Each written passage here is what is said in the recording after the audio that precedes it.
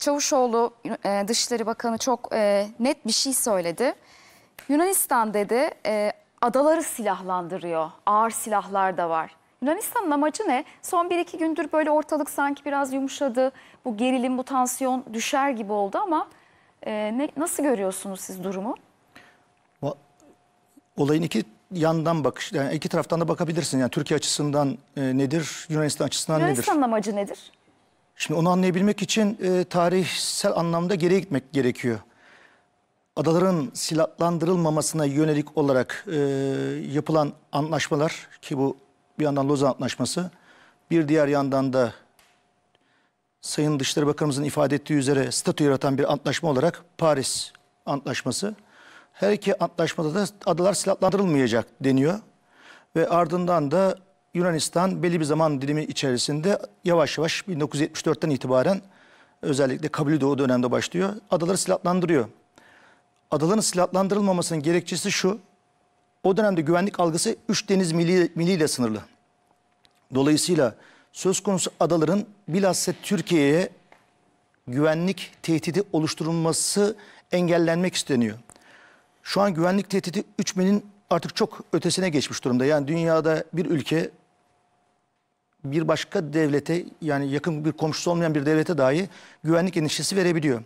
Şimdi Yunanistan bakımından baktığınızda Yani Yunanistan endişe mi duyuyor şu Şimdi an? Yunanistan e, Türkiye'de endişe duyuyor anladığım kadarıyla. Fakat endişe duymuş olduğu adalar o kadar yakın ki bu endişesini adaları silahlandırsa dahi gideremez. Yani dolayısıyla Yunanistan'ın gerçekten hangi sebeple hangi gerekçeyle adaları silahlandırdığını anlayabilmek de zor. Evet bakan dedi ki Miçotakis'in adaları silahlandırmıyoruz yorumlarını da ben dürüst bulmuyorum. Bir çatışma ihtimali var mı? Adaların silahlandırılması dolayısıyla mı? Evet. Şimdi o soru da geldi Sayın Dışişleri Bakanımıza. Dendi ki yani e, buna karşı tepkimizi biz belli bir yoğunlukta devam ettirecek miyiz? Sayın Dışişleri Bakanımız da de- devam ettireceğimizi söyledi. Şimdi adaların silahlandırılmasının ortaya çıkarabileceği sonuç şu. Lozan Antlaşması'nda bilhassa e, adalar belli bir bazı adalar ismen sayılarak Yunanistan'a devrediliyor ve ardından da silahlandırılmayacak diye ikinci bir hüküm getiriliyor. Şimdi hukuken bu bizim açımızdan şu şekilde yorumlanabilir.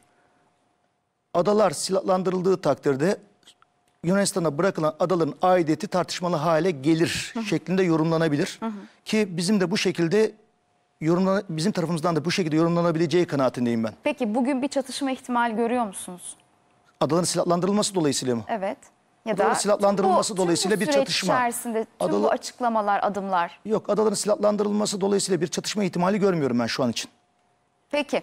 Bu arada Ankara'daki konuklarımız da hazır hemen e, kendilerini tanıtayım sizlere bir merhaba diyelim. Doktor Erdoğan Karakuş, emekli hava pilot, kor general. Sayın Karakuş hoş geldiniz efendim. Çok teşekkür ederim. Hoş bulduk. Ve Yusuf e, Alabar da Haliç Üniversitesi öğretim üyesi. Siz de hoş geldiniz Yusuf Bey. Merhabalar. İyi yayınlar diliyorum efendim. Hem size hem stüdyodaki konuklarımıza Çok hem de teşekkür bizi ederim. izleyenlere. Çok teşekkür ediyoruz. Ee, Erdoğan Bey sizinle devam edelim. Şimdi burada hem adaları silahlandırıyorlar hem ağır silahları var ama işte samimi de bulmuyorum. Her ne kadar Yunanistan Başbakanı Miçotakis e, böyle bir şeyin söz konusu olmadığını söylese de dedi bu akşam CNN Türk'te Bakan Çavuşoğlu. Ayrıca Fransa'nın da amacı e, silah satmak diyor e, burada. Yani... E, bir, bir gerginlik çıksın ben de silah satayım işin özeti durum bu dedi. Ne diyorsunuz katılıyor musunuz? Ben tamamen katılıyorum. Yani şöyle söylemek istiyorum. Ee, şimdi e, tabii bu adaların e, silahlanması konusunda e, bu işler tamamen e, hava fotoğraflarıyla tespitine bağlı. Yani hava fotoğraflarıyla siz e, gayet rahatlıkla bu silahları çeker ve ondan sonra şimdi işte e, kurulacak olan NATO'da efendim gerginliği azaltma ve yapılan işleri tamamen gösterme açısından e, teknik e, efendim seviyede kurulacak olan sisteme dahil ettiğiniz zaman e, bizim e, zaten buradaki e, Navtex ilanımız da onu gösteriyor. E, yani yakın bir zaman sonra yapılacak olan Avrupa efendim e, ülkeleri toplantısıyla ilgili Avrupa Birliği toplantısıyla ilgili efendim onlara aynı zamanda bakın e, Lozan'ın efendim e, katiyetle dinlenilmediği, daha evvel bazı yapılan e, anlaşmalar var onlara uyulmadığı e, ve e, maalesef adaların silahlandırıldığı konusunda e, bir yerde onlara uyarı amacı taşıyor. E, çünkü e, bu konularda siz eğer e, ön almazsanız e, daima Yunanistan efendim her şeyi inkar eder. Peki Ama Erdoğan Bey biz bunu için- kanıtlarıyla masanın üstüne koyarsak, fotoğrafları da gösterirsek ne olur? E, bu konuda Yunanistan'ın geri adım atması mı Şimdi- sağlanır? Herkes anlasın. Şöyle e, özetle anlatalım efendim. Şimdi tabii ki biz e, bunu ispatlama e, elbette ki çok kolay. Çok kolay olmasına rağmen Yunanistan yok efendim işte e, bunlar ağır silah değil. Malumunuz Lozan'da da kolluk kuvvetleri kurulması söz konusu oluyor. E, Bu kolluk kuvvetleri nedeniyle efendim e, bazen tabii ki ada büyük olduğu için e, birçok konuda kendimizi kolluk kuvvetlerinin savunması için efendim bu silahlar konuyor gibi tabii ki kendisini savunacak. Yani doğru olmayan şeyler söyleyecek ama ağır silah nedir? Efendim işte hafif silah nedir? Kolluk kuvvetinin kullanacağı silahlar nedir? Bunların hepsi belli. Ama Yunanistan daima bu olaylarda her olaydan bir e, efendim medet ummuştur. E, bu konuda şunu söyleyebilirim. 1964 yılında bizim 60 uçakla e, Kıbrıs'a yapmış olduğumuz harekat e, sonucunda malumunuz e, Kıbrıs Türkleri katliama uğramaya başlamıştı. E, bu e, efendim harekat sonucunda malumunuz Cengiz e, Topel de şehit düştü. Yani paraşütle atlamasına rağmen işkenceyle e, maalesef şehit ettiler. E, şimdi o zaman hemen Johnson mektubu geldiğinde 1964'te hemen Yunanlılar canlandılar ve bu adaları hemen silahlandırmaya başladılar. Bakın Kıbrıs'a geliyor Türkler. Aynı zamanda efendim işte 3 gün sonra Ege'deki adalarımıza da gelebilir falan e, düşüncesiyle bunu da batıya birazcık da ikna edecek şekilde hareket ederek e, yönlendirdiler ve ondan sonra silahlandırmaya başlamışlardı. Peki. Ancak biliyorsunuz işte e, rahmetli İnönü'nün efendim yeni bir dünya kurulur, e, efendim Türkiye yerini bulur e, efendim bir yerde restinden sonra Amerika'ya. Amerika Birleşik Devletleri yelkenleri suya indirdi. Ondan sonra hemen bize 1965 yılında F-104 uçaklarını e, getirdiler. E, Mürtet'te teslim ettiler. İnönü'ye e, İnönü'de efendim fotoğrafları falan çektirdi o uçaklarla. Ondan sonra baktılar ki bizim e, ile Amerika'nın arası bozuk değil. E, gene e, silahlandırmadan e, genellikle vazgeçtiler ama yavaş yavaş ufak ufak silahlandırmaya devam ettiler. E, biz bu konuda elimizden geleni aynı zamanda NATO'da yaptık. E, NATO'da ne yaptık? E, NATO'da yaptığımız olduğumuz şudur. E, NATO'ya devamlı surette efendim e, bu adalarla ilgili e, yazıları, o fotoğrafları gönderdik. Dedik ki en ufak bir şekilde e, NATO'nun parası bu adaların herhangi bir şekilde silahlanması için NATO altyapısından bir para e, verilmemesi konusunda yıllarca direndik ve bu efendim NATO e, altyapı parası e, belirli bir zaman sonra kaldırıldı. İşte Sovyetler Birliği çöktükten e, belirli bir zaman sonra kaldırıldı. Artık altyapıya ihtiyaç yoktur diye. O zamana kadar da bu şekilde önledik. Fakat e, bir yerde e, dediğimiz gibi e, uslanmaları asla yok. E, bir şekilde fırsat bulduklarında Peki. hemen adaları silahlandırıyorlar veya efendim anlaşmalara uymayan bir ülke görüntüsünü hemen sergiliyorlar. Peki İsmail Bey, şimdi Erdoğan Bey uslanmaları yok dedi. Bu akşam e, Sayın Çavuşoğlu da bu sorunları çözebilmemiz için samimi olmaları gerekiyor dedi. Yani bugün Yunanistan'ın e, Yunanistan'dan bu samimiyeti beklemek e, doğru olur mu ya da vazgeçer mi silahlandırmadan? E, Silahlandırmadan vazgeçmeyecektir. Tabii ki Dışişleri Bakanı da bu açıklamayı o doğrultuda yapacaktır ama hani kendisinin de oturup politika belirlerken, hamlelerini yaparken o da Yunanistan'ın bu çabadan bahse, e, vazgeçmeyeceğini hesap ederek bu hamleleri yapıyordur. Ama e, Sayın Bakan e, hem içeriye dönük hem dışarıya dönük verdiği mesajlarda sanki bir müzakere yürütüyormuş gibi o dengeli ve diplomatik üsluptan vazgeçmedi ki olması gereken e, budur. Karşı taraf da müzakereden yana? Evet, e, karşı tarafın e, yani aslında bu müzakereden yana olmak durumunda. E, Yunanistan'ın da Türkiye'nin de çıkarı müzakereden yanadır ama bunlar birazcık muza- müzakere masasına nasıl oturacağımıza dair onu belirleyen şeyler. Herkes masaya daha avantajlı bir şekilde oturmak istiyor. Şu an yaşadığımız gerilimli sürecin ne şekilde biteceği ve bu sürecin müzakere masasına kimi daha istediği pozisyonda, kimi daha geriden başlatacağı, oturtacağının karar verildiği bir süreci yaşıyoruz aslında.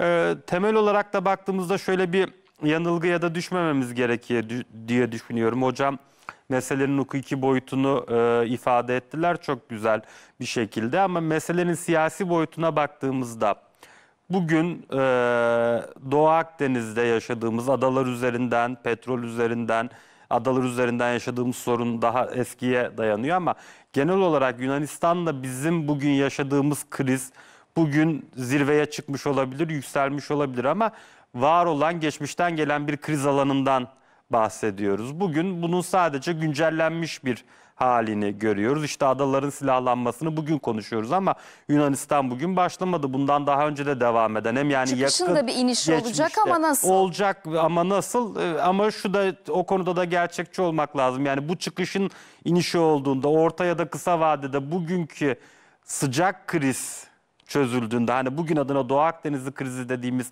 sıcak kriz çözüldüğünde Türkiye ile Yunanistan'ın Ege'deki tüm meseleleri çözülmüş olmayacak ve onlar devam edecek. Çünkü orada aslında yani e, belki işin evveliyatına giderek konuşulması gereken bugün bu programın ne kadar meselesidir bilmiyorum ama orada çok garip bir durum var yani işte. E, yani Türkiye Yunanistan'ı bir şeye bırakın, kenara bırakın bir ülkenin ana karasının bu kadar e, içinde başka bir ülkenin adaları olursa bu tarafların kim olduğundan bağımsız olarak devamlı kriz üreten bir durum olmaya devam edecektir. Bu de- denizde de Ege Denizi'nde de bu mesele böyle. Bugünkü şeyi dediğim gibi sıcak krizi bir şekilde çözebiliriz. Belki NATO bünyesinde başlayan süreç sonuç verebilir. Belki taraflar birbirine karşılıklı jestlerde bulunabilirler. İhtilaflı bölgelerde bugün bir şey yapmak, sıcak bir şey yapmak konusunda e, karşılıklı bir anlayış geliştirilebilir. Ama bu o bölgedeki devam eden o tarihsel e, krizin, sürecin, o e, çatışmalı, ihtilaflı konunun çözüldüğü anlamına Peki. gelmeyecektir. Ee, Yusuf Bey, e, Fransa'nın amacı da silah satmak dedi bakan bu akşam. Yani işte gerginlik çıksın biz de silah satalım. Yunanistan'da adaları silahlandırıyor. Siz nasıl görüyorsunuz, nasıl yorumluyorsunuz ve tabii bu kriz nasıl çözülecek? Bir çatışma söz konusu olur mu? Yani e, Fransa'nın amacının bir tanesinin de silah satmak olduğunu zaten Yunanistan'ın açıklamış olduğu paket doğrultusunda görüyoruz. Tabii ki Sayın Bakan da tek amacının silah satmak olduğunu söylemedi. Başka bir, bir sürü ajandasında farklı parametreler var. Lakin Yunanistan e, ben e, hem içinde e, resmi anlamda görev yapmış olduğum zamanlarda yaptığım incelemeler hem de okumalar çerçevesinde rahatlıkla söyleyebilirim ki daha fazla savunma harcaması yapabilme kapasitesini yitirmiş bir ülkedir. Müflis bir ülkedir Yunanistan. Yani 10, 11 milyona yakın bir nüfusu vardır. 400 milyar dolara yakın da bizzat kamu borcu vardır. Ee, ve bu anlamda da bu borcu kapatabilecek ne bir sanayisi ne de bir gençliği vardır. Dolayısıyla Yunanistan şu an için adeta emlak şirketinde satılığa çıkartılmış bir e, kara parçası konumundadır. Lakin bu aynı zamanda da Yunanistan'ı bizim karşımıza Yunanistan olarak görmememizi de sağlıyor. Yani ne gibi göreceğiz o zaman? Yunanistan'ı kim parsellediyse işte Fransa, Almanya başta olmak üzere mekanın sahibi de onlardır. Dolayısıyla çok da fazla Yunan kamuoyunun içerisinde Sayın Cumhurbaşkanı'nın tabiriyle kuklaların ne dediğine çok fazla takılmamak lazım. Ee, ama silahlanma da bir hakikat tabii ki. Şimdi e, ben e, sizin biraz önce söylemiş olduğunuz konu üzerine iki cümle etmek istiyorum.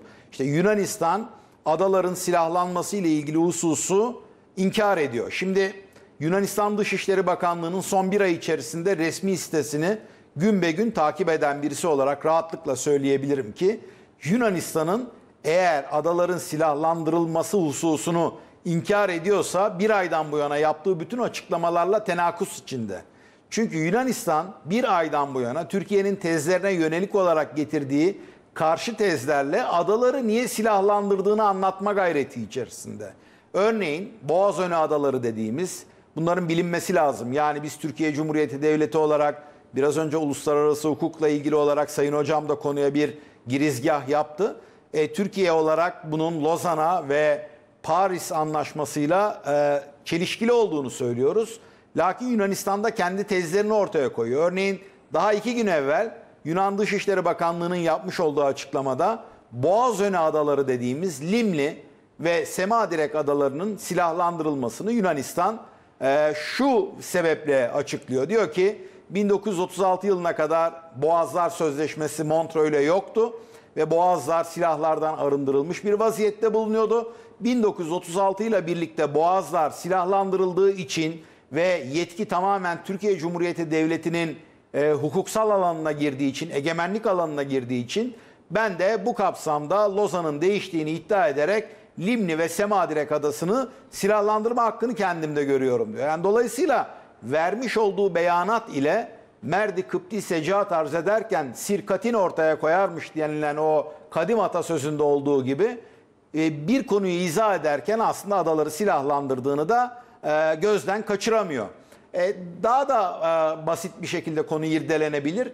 Yani bu adalar Türkiye Cumhuriyeti Devleti'nin hemen sınırlarının dibinde. Bu adalarda hangi silahların bulunduğunu, hangi adada ne bulunduğunu bırakınız Milli İstihbarat Teşkilatı, Silahlı Kuvvetler İstihbaratı açık kaynakta görüntüleriyle bugün ben bile ispat edebilirim. Yani adalarda e, hava unsurlarının inmesi için pistler var, istikam birlikleri var.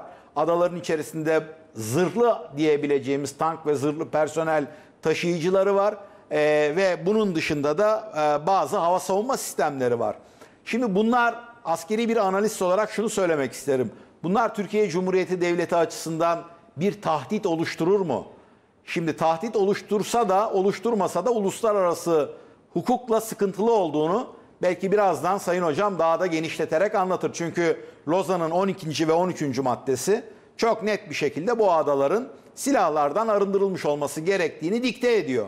E, Lozan'ın şartlarında da iki ülke tarafından akdedilmiş bir upgrade anlaşma olmadığına göre Yunanistan'ın Boğazönü adaları ve Doğu Ege adaları dediğimiz bizim için Saruhan adalarının silahlandırılması Lozan'ın hükümleriyle açık bir e, tenakus içerisinde. Keza yine 1947 Paris Anlaşması'yla 12 adalar dediğimiz Rodos, Meis, Sömbeki, İstanköy gibi adalara yönelik olarak yapmış olduğu silahlandırmada Evet. her ne kadar Türkiye Paris Anlaşması'nın tarafı olmasa da olmasa da bu adaların kendisine Paris Anlaşması'yla verilmesinden kaynaklanan statüyü bozduğunu hem Sayın Hocam söyledi hem de tartışma programlarında bunu defalarca dile getirdi. Evet. Şunu söylemek şart yalnız. Bu adaların silahlandırılması Türkiye Cumhuriyeti Devleti açısından evet tahdit oluşturur. Lakin stratejik anlamda bir bakış açarsak Yunanistan önemli miktarda bu adalara getirmiş olduğu silahlı gücünü Türkiye Cumhuriyeti Devleti gibi son 10 yıldan bu yana çok yoğun teknoloji kullanan bir silahlı güce sahip bir ülkenin hemen sınırlarının yanı başında olması da bu Yunanistan'a ait silahların bir saat gibi kısa bir süre içerisinde etkisiz hale getirilmesinin menzili içerisinde. Özür